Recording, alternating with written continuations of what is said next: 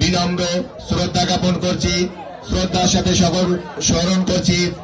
একাত্তরের মহান স্বাধীনতা যুদ্ধে যে সকল শহীদ এবং মা বোনের সম্ভ্রমণের বিনিময়ে অর্জিত আজকের এই স্বাধীন বাংলাদেশ, সে সকল শহীদদের প্রতি বঙ্গবন্ধুর স্বপ্নে সোনার বাংলা বিনির্মাণের ধারাবাহিকতা অব্যাহত রেখে এই সুযোগ্য কন্যার নিরলস পরিশ্রমে উন্নয়নের অগ্রযাত্রা সারা বাংলাদেশে উন্নয়নের জোয়ার বইছে।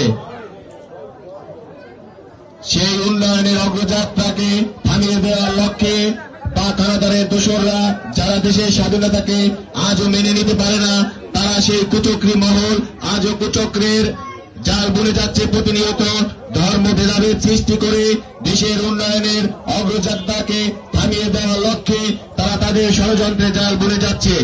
আমরা তৃণমূল থেকে আওয়াজ তুলে বলতে চাই, আমরা মুক্তিযুদ্ধের সপক্ষে শক্তি, বঙ্গবন্ধুর আদর্শের সৈনিক, আমরা ডক্টর আব্দুল সোহান গোলাপ এমপি মহিলার হাতকে শক্তিশালী করার লক্ষ্যে, দেশরত্ন শেখ হাসিনার হাতকে শক্তিশালী করার লক্ষ্যে, উন্নয়নের অগ্রযাত্রা অব্যাহত রাখতে ওই সকল কুচক্রী মহলকে এক বিন্দু পরিমাণ ছাড় দিব না। আমাদের রমজানপুরবাসীর গর্ব আমাদের সৌভাগ্য, আমাদের মাননীয় সংসদ সদস্য, আমাদের মাটির সন্তান। আজকের এই রমজানপুরের অঙ্কুরিত গোলাপ, একটি ফুটন্ত গোলাপ হয়ে কালকিনি তথা মাদারীপুর তিন আসনের সর্বস্তরে তার সুবাদ ছড়াচ্ছে। আমরা রমজানপুরবাসী দুঃখের সাথে স্মরণ করতে হয়।